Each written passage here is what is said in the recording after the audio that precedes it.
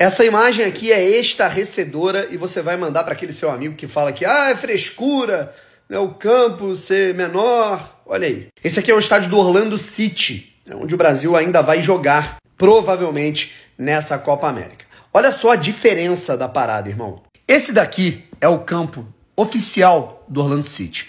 É aqui que geralmente fica né, o gramado, a linha de fundo, a linha de lado, a bandeirinha de escanteio, em jogos da equipe do Orlando City na MLS. E essa daqui é a medida do campo da Copa América. A medida do Orlando City né, prevalece né, a média do futebol mundial: 105 metros de comprimento, 68 de largura, enquanto a da Copa América tem 100 metros de comprimento e 64 de largura. Ah, Bruno, mas por que isso? Porque alguns gramados né, de alguns estádios, como por exemplo os que eu fui na Copa América, eles são gramados ali projetados para o futebol americano, então é, você tem ali aquela medida ali de terra, de terreno, né? Então não tem como expandir mais. Ou seja, os campos tiveram que ser padronizados todos para esse tamanho. Olha a diferença, cara. Para um time que ataca mais do que o que defende, cara, isso é fato, né? É muito, mas muito pior. Não é desculpa, isso é, isso é número, isso é matemática. Eu sou um cara que eu sou meio contra a padronização dos campos, tá? É uma, uma opinião polêmica minha.